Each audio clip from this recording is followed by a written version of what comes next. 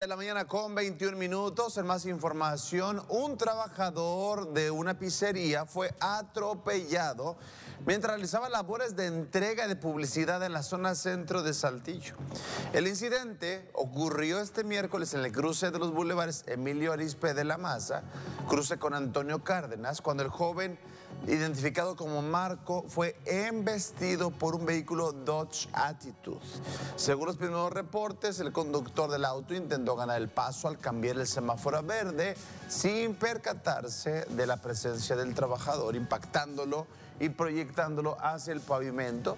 Tras el golpe, Marco quedó tendido en el suelo con una aparente lesión en su brazo donde tuvieron que llegar paramédicos del Servicio de Emergencias y Urgencias Médicas, el SAMU, valorando al trabajador y desde la gravedad de la lesión decidieron trasladarlo al hospital para recibir atención médica especializada.